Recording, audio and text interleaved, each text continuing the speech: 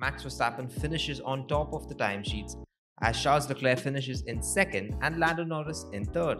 Today's qualification results is the starting order for tomorrow's shorter 100 kilometer long race that will take place on Saturday. All in all, an exciting recipe that was made even better with the addition of rain. In Q1, the track looked to be drying out as the drivers tried out slick tires after doing extensive wet tire runs during practice. However, Lance Stroll had a stunning lap with just 12 minutes to go and he was on provisional pole. Alex Albon's brakes, however, caught fire and then spectacularly exploded as he got out the red flags. He managed to limp his car home. The issue with brakes catching fire, however, is not new to Williams, with the Williams car of Nicholas Latifi having similar issues back in pre-season when his brakes caught fire. Once Q1 resumed, it went down to the wire.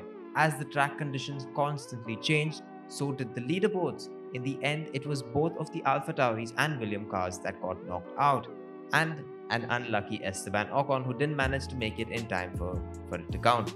The drivers out at the end of Q1 were Yuki Tsunoda, Pierre Gasly, Nicholas Latifi, Esteban Ocon, and Alex Albon. Q2 showed us just how unpredictable racing does get. The teams were once again pushing hard in Q2 when Carlos Sainz spun and launched his Ferrari into the barrier.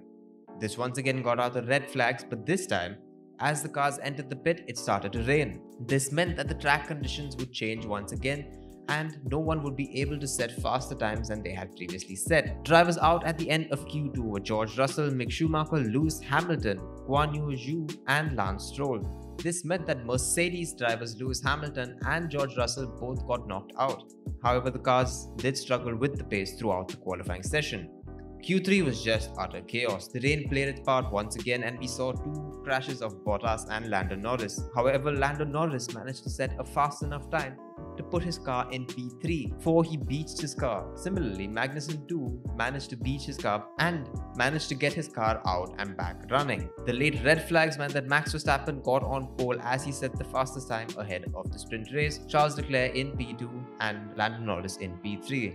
Formula 1 resumes tomorrow with yet another practice session from 4 to 5 pm, followed by a mini race from 8 to 9 pm. So stay tuned to Fervent Motorsports for all things motorsport.